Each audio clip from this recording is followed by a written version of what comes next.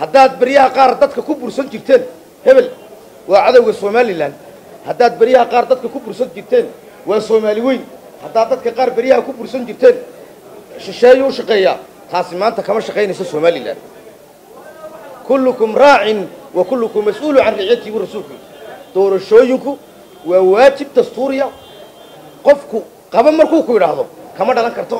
Xamar baa laga soo diray iyo xamar baa laga xamar baa maxaa la idhahdaa laga kari laayay xildhibaan maxamed abiib oo ka mida mudanayaasha golaha wakiilada somalilan oo qaybo ka mida warfidiyeenka kula hadlay. Xarunta golaha baarlamaanka somalilan ayaa ka hadlay qaybo ka mida warbaahinta madaxa bannaan oo saaka laga hor istaagay inay gudaha u galaan aqalka golaha wakiilada somalilan kaasi oo uu ka socday fadhi ay yeesheen golahaasi. Geesta kalena waxa uu sheegay inaanay shaqayn karin afar xubnood oo ah guddida diiwaangelinta oo golaha wakiiladu ay ansixiyeen in saaka war idin arkaya markii laydin jiijiidayay idinku maalintii dhawitoole dagaalkii golaha ka dhacay saamayn lukuma idaan lahayn halkan golahani taarikh buu le golo soo jiray buu ahaa hortiibay halkaas ku dileen guddoomiyihii iyo guddoomiye ku-xigeenkii waa la duubay anigu golaha kamaan mid ahayn waan daawannay halkanaa ka daawanaya maalinta markay dilayeen warbaahin golaha lagama saarin lagumana ciqaabin in laydinku ciqaabo la idhaahdo maalintii dood warkii maxaa sii dayseen waxay la mid tahay kuwa raggaa xidhan bay la mid tahay ayay la mid tahay aad aad iyo aad aad iyo aad baan uga uga xumahay in arrintaasi maadaragtay maalin walba laydinku cagajugleeyo oo maalin walba maadaragtay laydi ihahdo maxaa u duurtay laydinku idhahdo xaq laydinkuma laha. Golahana waa golihii shacabka wey dastuurkuna wuxuu sheegayaa golahani waajibaadkiisa wuxuu gudanayaa. Si furan si furan markuu jeedana waa inay warbaahinta iyo shacabkuba goobjoog noqdaan wey goobjoog goobjoog noqdaan wey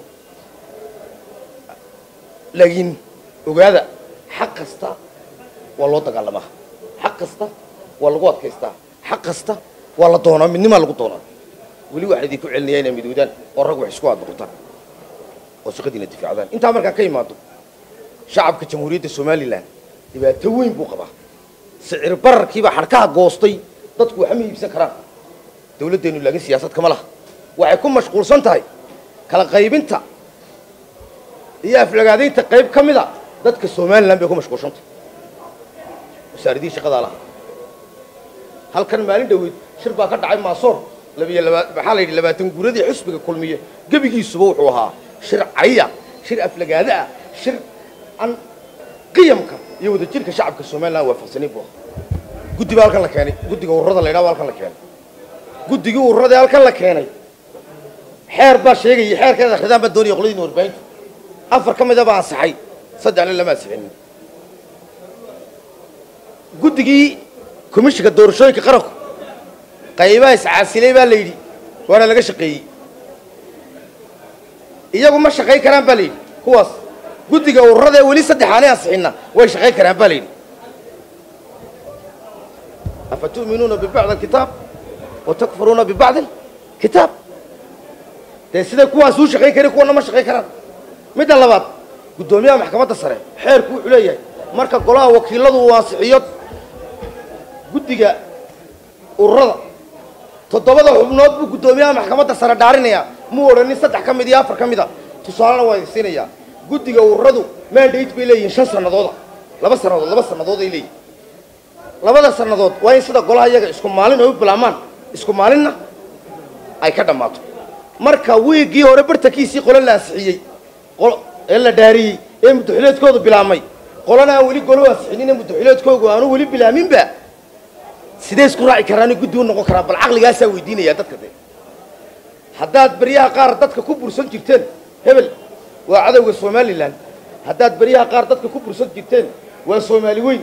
Haddaad dadka qaar beryaha ku bursan jirteen shisheeyu u shaqeeyaa taasi maanta kama shaqaynayso somalilan kullukum raacin wa kullukum mas'uulu can ricyatii bu rasuulku doorashooyinku waa waajib dastuuriya.